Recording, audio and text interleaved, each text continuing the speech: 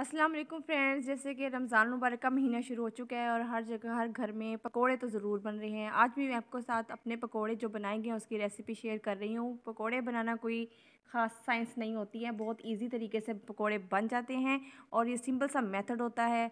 लेकिन कुछ टिप्स मैं आपको साथ साथ दूँगी। हमने लिया है बेसन, उसमें मैंने जो है चिप्स शेप में जो है आलू कट किए हैं, प्याज डाला है, सारे मसाले, सूखा धनिया, ज़ीरा और कसूरी मेथी और सूखा पिसा हुआ धनिया भी डाला है मैंने और कूटा हुआ धनिया भी डाला है। लाल जो है, कुटी हुई मिर्चें, सुरख कुटी मिर्चें, सॉल्ट डाला है मैंने, अजवाइन की चुटकी होती है वो डाली है, हरा धनिया है, सूखा पुदीना मेरे पास अवेलेबल था, वो भी डाला है। पालक अवेलेबल नहीं थी तो वो मैं नहीं डाल सकी।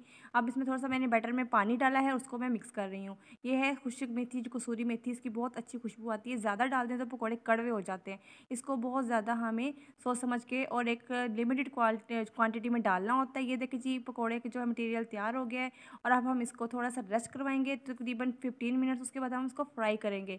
ये देखिए जी, पकौड़े बहुत अच्छे से फ्राई हो रहे हैं और बहुत प्यारी और मज़ेदार खुशबू आ रही है। अफ्तारी का टाइम होने वाला था और जल्दी जल्दी से बनाए जा रहे थे और ये गर्म गर्म ही खाए जाते हैं तो अच्छे लगते हैं। ये फ़र्स्ट जो बैच मैंने बना लिया था, इसके बाद जो बाकी मटेरियल था, मैं इसको भी बनाऊँगी। लेकिन मैंने कहा, आप आप लोगों को शो करवा दें। ये बहुत ही खस्ता और बहुत सॉफ्ट बने थे और बहुत मज़े से खाए गए थे और झटपट ख़त्म भी हो गए थे और दोबारा भी बनाने पड़े थे। इसके साथ थोड़ी सी चिप्स थी, जो छोटे बच्चे घर में होते हैं, उन लोग ज़्यादा अच्छे नहीं लगते उनको। स्पाइसी खाना तो उनके लिए चिप्स भी बनाई जाती है। साथ में थोड़ी सी उनके लिए चिप्स भी बना ली गई थी।